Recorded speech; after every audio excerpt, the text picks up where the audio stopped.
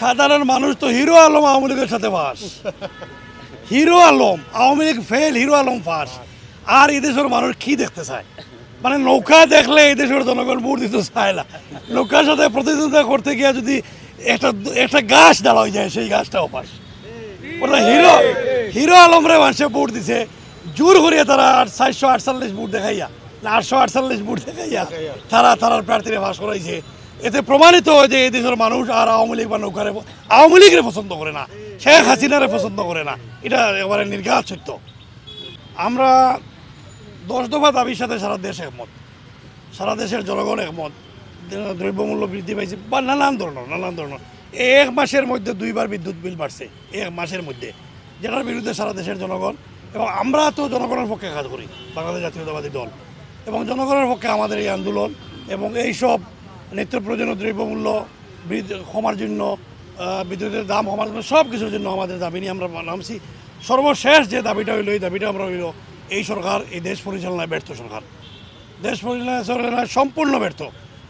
আপনারা জানতে পারতেছা পারতেছেন আমরা তো জানলাম এবং আপনারা বেশি জানলাম আমরা চেয়েও যে এই দেশ থেকে টাকা পয়সা লুটপাট করিয়া আজকে বেগম বাড়ি বানানো হয়েছে কানাডাত এবং দেশ থেকে প্রচুর টাকা পয়সা নিয়ে আমেরিকাতে বাড়ি করা হয়েছে এই দেশ থেকে টাকা পয়সা লুটপাট করা হওয়ার সম্রাটের মতো মানুষের ধরা হইল কেসিনো নানান ধরনের।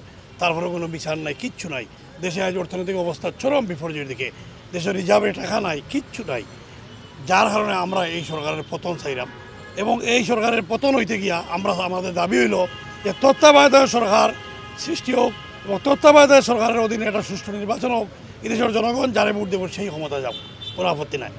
যার লাগে আমরা আজকে রেজিস্টারি মাঠে আমাদের সিলেট বিভাগে মহাসমাবেশ আমরা এখানে খানাইঘাট জকিগঞ্জ থেকে। প্রচুর নেতাকর্মীরা আজকে এই অনুষ্ঠানে, এই সভায় যোগদান করার জন্য আইছেন এবং থাকব ইনশাল্লাহ এবং শেখ হাসিনা বা এই সরকারের পতন না হওয়া পর্যন্ত আমরা রাস্তায় নামছি, সমস্ত নেতাকর্মী রাস্তায় নামছেন এবং রাস্তা থেকে উঠবে না ইনশাল্লাহ আমাদের সব কর্মসূচি ইনশাল্লাহ ফলপ্রসূ হইতেছে।